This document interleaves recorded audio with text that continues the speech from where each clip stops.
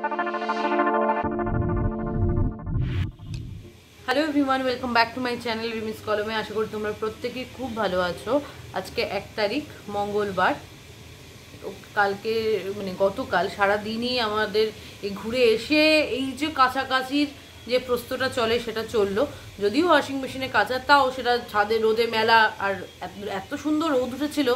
আমি যে মানে জমিয়ে জমিয়ে কাচবো সেই ব্যাপারটা আর মাথায় নেই। কারণ এখন তো যখন তখনই বৃষ্টি নেমে যায়, তো বলা যায় না, সুতরাং রোদ রোদ দেখে আর কি লোকটা সামলাতে পারিনি। তো সমস্ত কিছু কাছাকাছি কমপ্লিট জমে রয়েছে, এখনও পর্যন্ত গুছাতে পারিনি। একটা ঘুরে এসে আবার আরেকটা প্যাকিং করা স্টার্ট করেছি। কারণ, সম্ভবত আমি চার তারিখ বাড়িতে যাব, কারণ আমার পিসো দিদিরা হয়তো পাঁচ তারিখে আসবে। আর আমার পিসিমণিরা চলে আসবে হচ্ছে চার তারিখে। তো সেই জন্য চার তারিখেই যাব, এরকমই প্ল্যানিং রয়েছে। আর আজকে একটা বিকেলে নিমন্ত্রণ আছে আইবুড়ো ভাতের। সেটা হচ্ছে যে আমার জ্যাঠতো দিদি আমার ওই বোনকে আইবুড়ো ভাত খাওয়াবে। তো সেই জন্য আমাদেরও নিমন্ত্রণ আছে, তো যাব। তোমরা হয়তো ভাবছ যে আমি খালি আইবুড়ো ভাতের নিমন্ত্রণই খেয়ে যাচ্ছি, আমি তো খাওয়াচ্ছি না। আসলে আমাদের এই শ্বশুরবাড়িতে আইবুড়ো ভাত খাওয়ানোর নিয়ম নেই। তাই জন্য বিয়ের পরেই যিনি আর ওর হাজব্যান্ডকে খাওয়ানো হবে, এরকমই প্ল্যানিং রয়েছে। আমার ছদ্দি ভাইকেও তাই খাইয়েছিলাম, কারণ ছদ্দি ভাইয়ের বিয়ে আমার বিয়ের পরে হয়েছিল। তো একই প্রসেসের ইউনিটটাও হবে, সেরকমই ব্যাপার। তো আজকে বিকেলে নেমন্ত্রণ, টুপাইয়ের কাজ বলে তারপর আমরা যাব। তার আগে প্যাকিং ট্যাকিং করব। তো চলো প্যাকিং করা স্টার্ট করি। আর আজকে এখন বাজে হচ্ছে তোমার সাড়ে বারোটা। তো এখন থেকে ব্লগটা স্টার্ট করলাম। কালকে রাত্রিবেলা মৌসুমি ফোন করেছিল, ওর মেয়ের একটা অ্যাক্সিডেন্ট ঘটেছে আর কি বাড়িতেই। সেটা হচ্ছে পা স্লিপ কেটে বেসিনের থুতনিটা কেটে গেছে। তো স্টিচ পড়েছে একটা। আজকে ওর বাড়িতে যাব, দেখে ওকে, তারপর দিদির বাড়িতে যাব। আর খুব একটা প্রবলেম হবে না, ওদের বাড়িটাও কাছাকাছিই আছে। সুতরাং সুবিধা হবে। তো যাব দেখতে। এই যে উটকো ঝামেলা সব হয় না, যে কি বলব? কালকে প্রায় বারোটা যখন মৌসুমি ফোন করেছিল, এই এই অ্যাক্সিডেন্টটা ঘটেছে। তো তখন থেকেই মনটা খুব অস্থির হয়ে রয়েছে।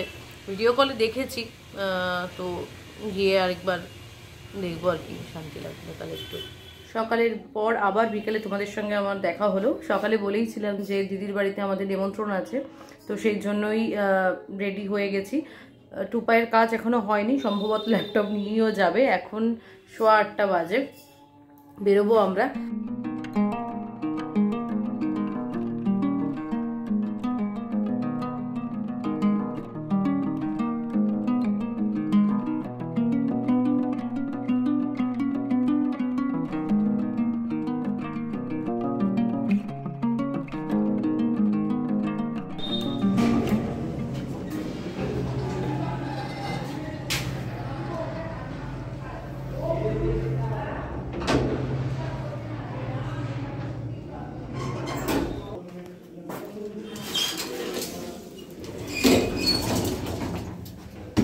আমরা চলে এসেছি।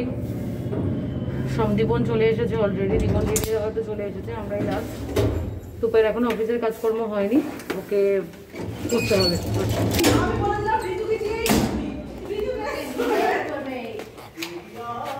আমাদের কোণে চলে এসেছে।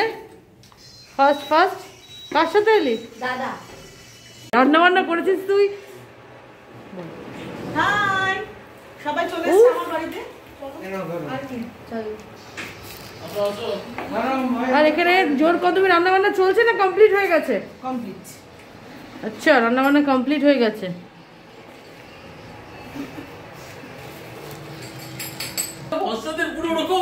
ওই যে আমার মতো এটা কি হচ্ছে? কেমন আছেন দাদা? হ্যাঁ? বিন্দাস। বিন্দাস। আর হয় না ওই- এখানে গল্প স্টার্ট হয়ে গেছে।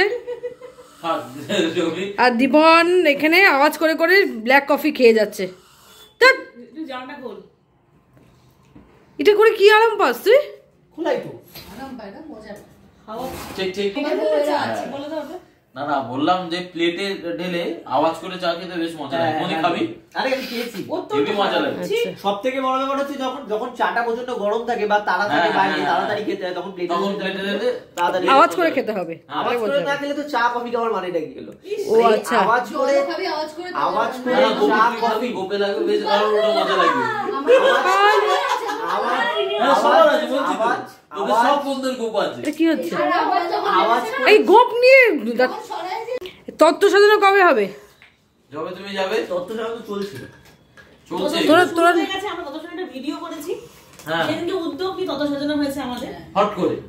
সেখানে শুধুমাত্র ঋতু বসে বসে সেরোটিপ কেটেছে। এই দায়িত্ব নিয়ে সেরোটেপটাও ডেঞ্জারাস আমলের বাজার সালে সেরোটে আর বিয়ের সময় সেরোটিপ ছোটরা বিয়ের আমলে সেরোটেপ রাখা আছে। আঠাই না দীপক বলে আরে লাগছে না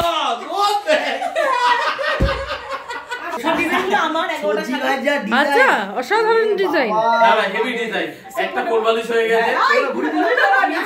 কোলবালিশ হয়নি ওটা। সোফা বানিয়েছে। সোফা বানিয়েছে। ওরা দুজন বানিয়েছে। আর একটা হয়েছে দুপাশে দুটো কোলবালিশ মাঝখানে বিছানা। ওটা কি কমপ্লিট হয়ে গেছে? এই ভালো শাড়ি দিয়ে করিস না কিন্তু।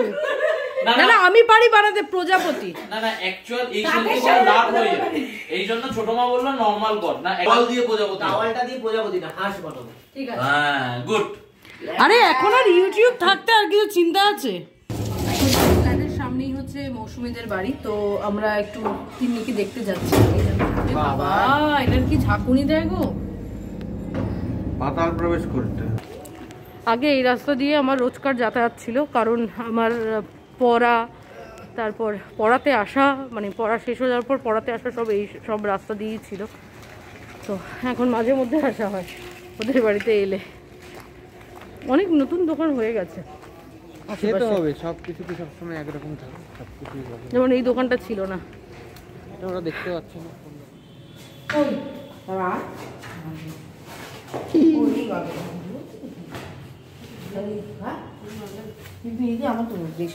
আমরা চলে এসেছি মৌসুমীদের বাড়ি থেকে। তো তিন্নির স্টিচটা তো এখনও রয়েছে।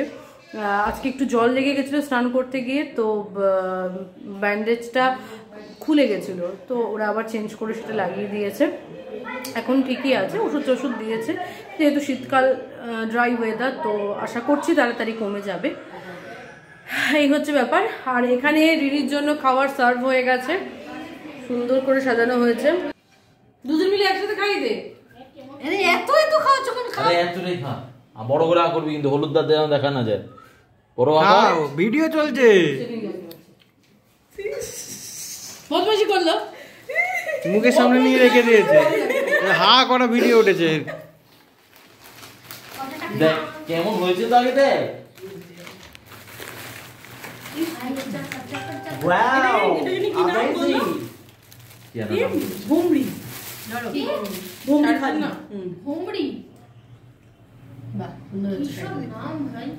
আমার কাটা ভীষণ পছন্দ হয়েছে। হুমড়ি কি হলো? পাটা। আচ্ছা পাটু রকিতে ভাজ করে দেবে। হ্যাঁ, সুন্দর ভাজ। সুন্দর। এটা আমি চাই খাওয়াবি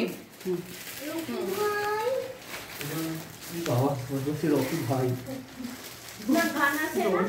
আমি তো তারপরে আমার সেলফি হলো বাস স্ট্যান্ডটা রেখে দুটো মিশিয়ে রসগোল্লা দই। হ্যাঁ সেদিনকে বলছিলাম আমি রসগোল্লা দই খেতে ভালো লাগে। আজকে রিনি আমার বাড়িতে খাচ্ছে। সামনের মঙ্গলবার রিনি রিনি শ্বশুর বাড়িতে খাবে আশা করি এই টাইমটা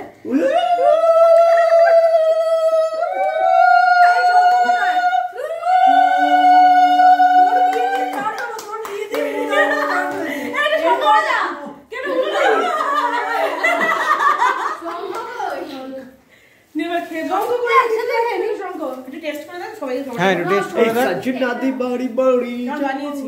মে এটা এনার ফটো তোল এ এটা কি ইয়ে প্লান আজকে দেখ। আলুচির মতো ফোন নাকি? করছি। ওরকম হচ্ছে না বলে? ফোনটা এগিয়ে নিয়ে। ফোনটা গেছে তাই? হ্যাঁ ফোনটা সোজা কর। তোকে দেখা যাচ্ছে না তোকে মিস করছি। উল্টে গেছিস। উল্টে গেছিস তো। এখানে ভিডিও কল হচ্ছে দিদি। আরে সোজা কর সোজা কর। এই ওটা কি?